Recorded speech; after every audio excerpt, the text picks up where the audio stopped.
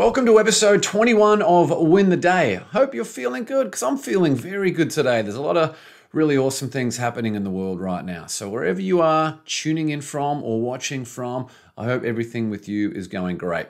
Episode 21, the title is You've Got to Risk It to Get the Biscuit. You've got to risk it to get the biscuit. Before we get into all the good stuff in this episode, I wanted to quickly share some news. The Day Won Mastermind is completely sold out. But don't worry if you missed your chance to reserve your place, we will be running it again in the future. So to get on the wait list to make sure you get the notifications for the next time we reveal the dates, just email info at jameswhitt.com and let us know that you would like to be added to the waitlist for that. All right, the quote for today's episode comes from Facebook founder and CEO Mark Zuckerberg and says, The biggest risk is not taking any risk.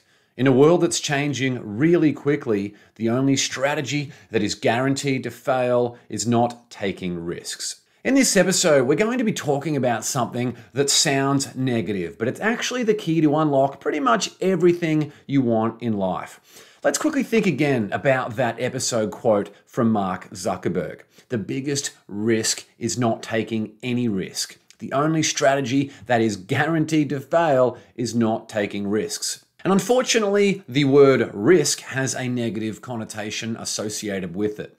But when we talk about risk, let's start off by talking about a few things, four scenarios that we're not talking about. They might sound risky at face value, but they're not what we're talking about in this episode as a definition of risk. The first one, scenario one, dating someone who is toxic and destructive to your life because you believe you can change them. Number two, starting a business without doing your due diligence because you think you already know it all. Number three, maxing out your credit cards because you believe the law of attraction will look after you. And number four, not focusing on your fitness because you might get hurt. Those four scenarios are far more common than you think, and I bet you can probably think of a few on your own. The misconception with risk is that it's something undertaken that is dangerous.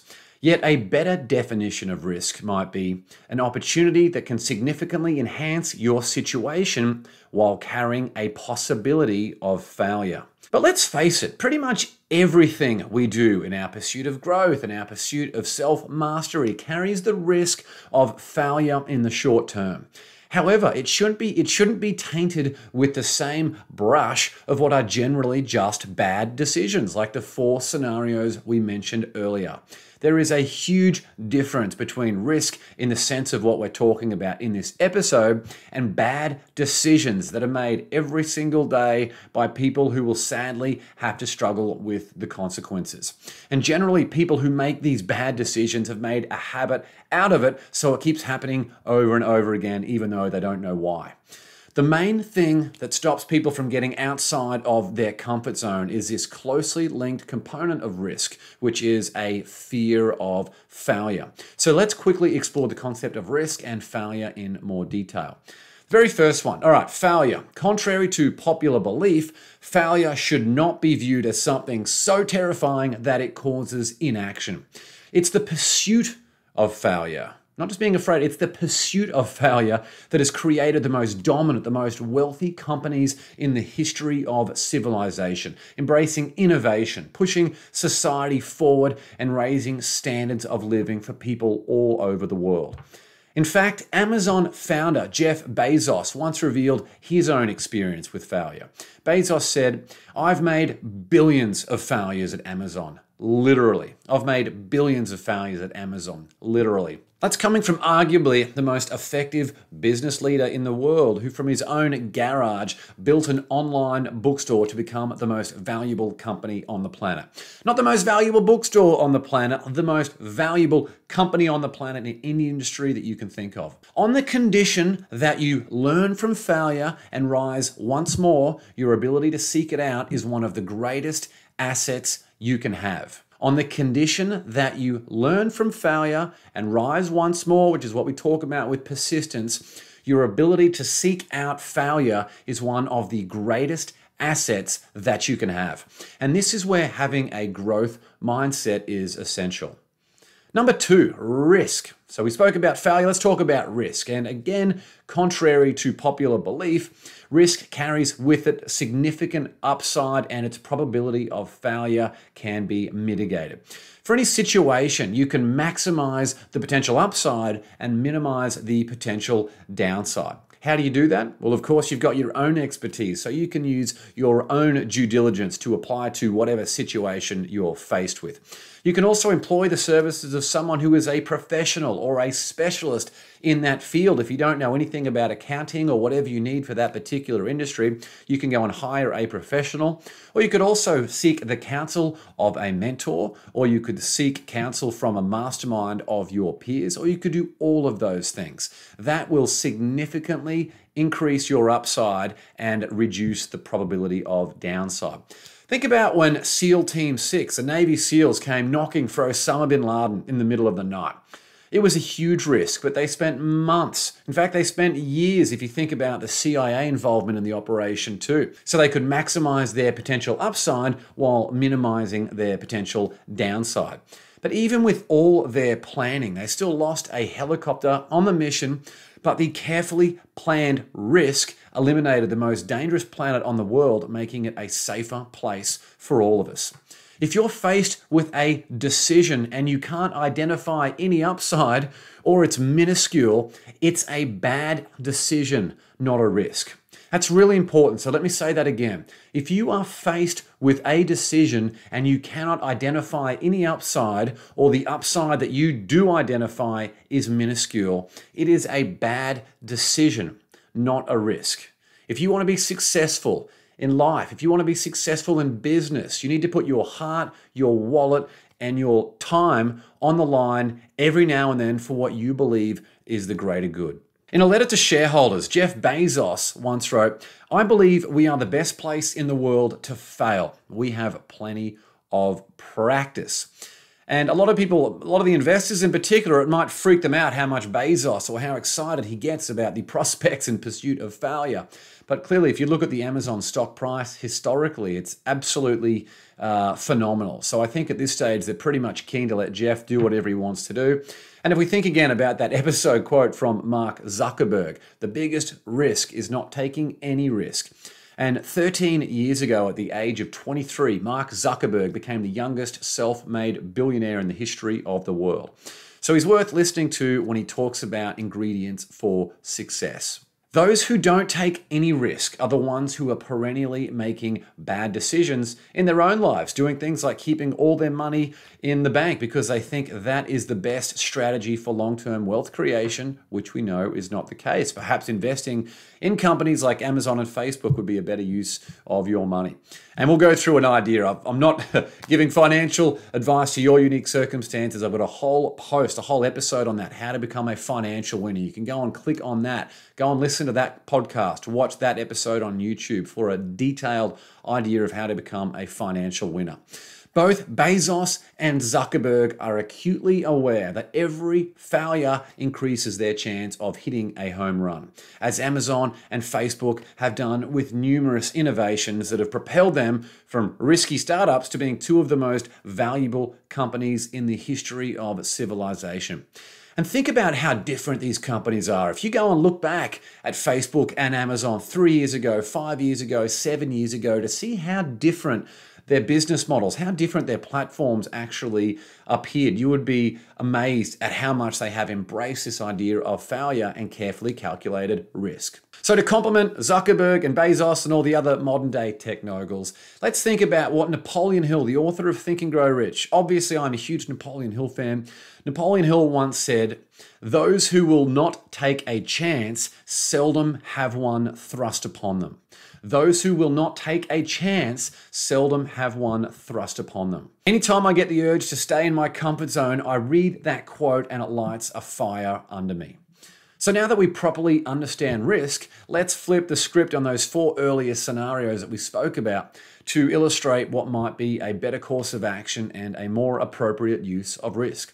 Scenario one that we spoke about, the bad decision, was dating someone who is toxic and destructive to your life because you believe you can change them. Well, perhaps a better but still risky decision might be to spend more time with someone who you sense a deep connection with and allow each of you to explore those feelings. If you bring out the best in each other and your time together forms the seedlings of love, you will have to put your heart on the line as you commit to each other, which putting your heart on the line, if you've ever been in love, is probably the greatest risk that you can take. But it might just be the best partnership you ever form. So compare that to the initial scenario of dating someone toxic and destructive in your life, hoping that you're going to change them over time. Which of those two scenarios would you prefer? All right, scenario two, we spoke about the bad decision, starting a business without doing your due diligence because you believe you already know it all. Well, perhaps a better but still risky decision would be to identify a problem that's faced by many people around the world and then identify a product or service to solve that problem.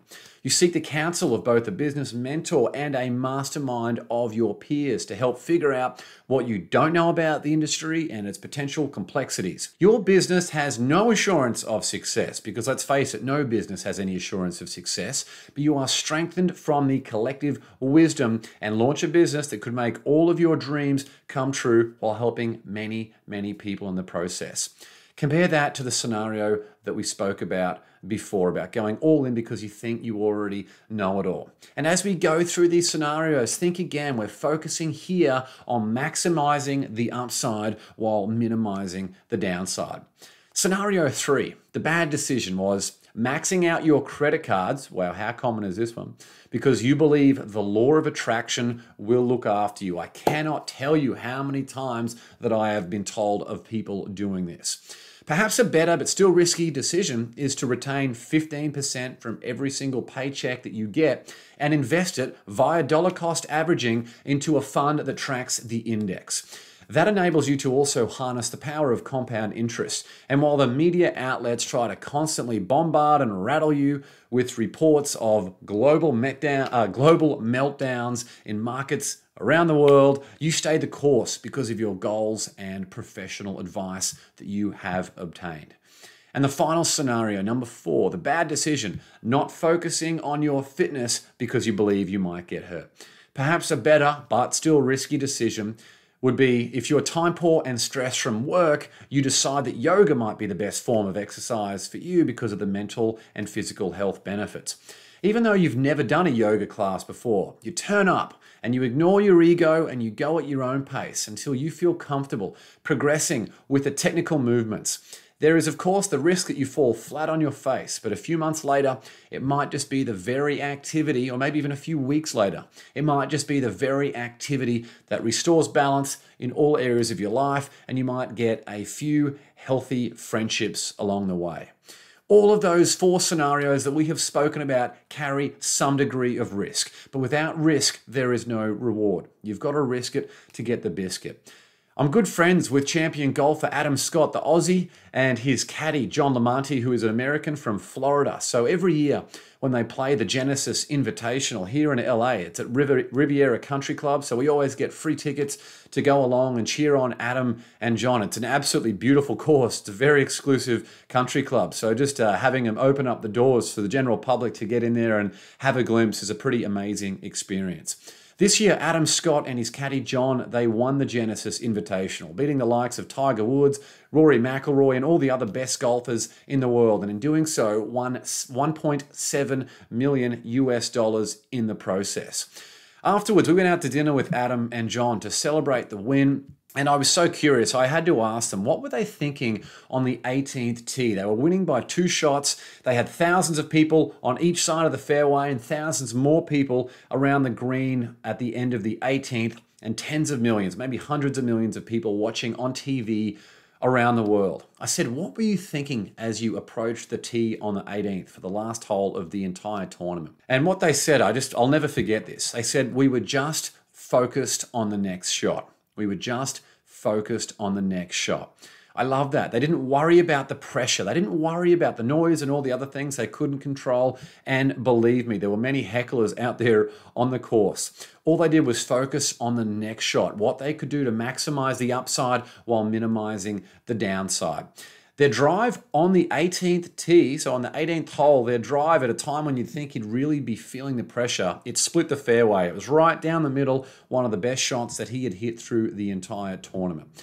Absolutely clutch. This is a guy, Adam Scott, who had not only won that tournament before in 2005, 15 years ago, which is a nice testament to his longevity in the sport. But he's also won the Masters at Augusta, which is probably the most exclusive golf tournament. So this is a guy who is so mentally strong.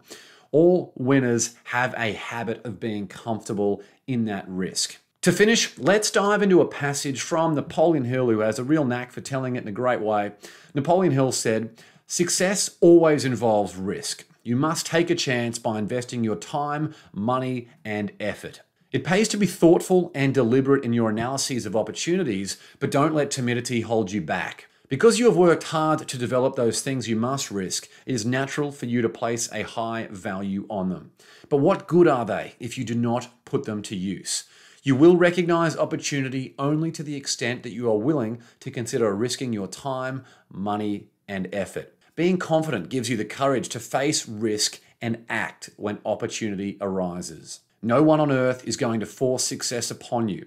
You will find it only to the degree that you actively seek it out. You will find it only to the degree that you actively seek it out. Powerful stuff. Hopefully, now you've reframed the idea of risk and failure. Remember, you've got to risk it to get the biscuit. That's all for episode 21. If you're enjoying the show, hit subscribe, hit the like button, and share it with other people who you think might benefit from all the lessons that we're talking about here on the Win the Day show. Get out there and win the day. Until next time, onwards and upwards, always.